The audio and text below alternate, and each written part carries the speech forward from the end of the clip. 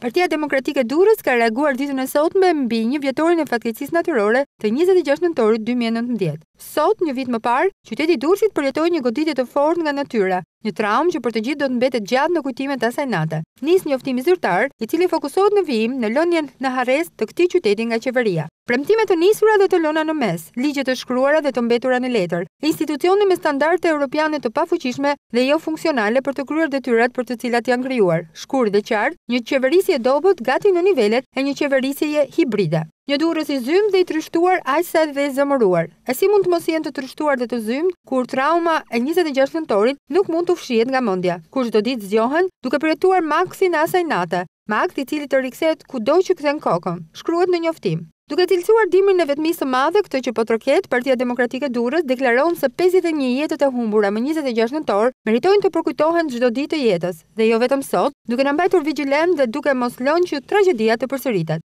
Në një mijë e pesëqind banesa individuale të pabanueshme, vetëm për shtatëqind prej tyre, sapo janë firmosur kontratat për nisjen e procesit të rindërtimit, në një kohë kur duhet të ishin rindërtuar, sipas premtimit të bërë një vit më parë. Në nëntëqind banesa të vlerësuara sa si DS katër, ende nuk ka një vendim për fatin e tyre, ndërsa nga pesë pallate që pritej të shëmbeshin dhe rindërtoheshin, ende nuk janë hedhur as katet e para. Bën me dije Partia Demokratike. Për banorët e Durrësit ky është dimri i vetmisë së madhe, nëse do ta quanim të tillë metaforikisht. Banorët e Durrësit janë përballur me vitin më të vështirë që mund të jetë përballur ndonjëherë, por ata nuk janë gjunjëzuar.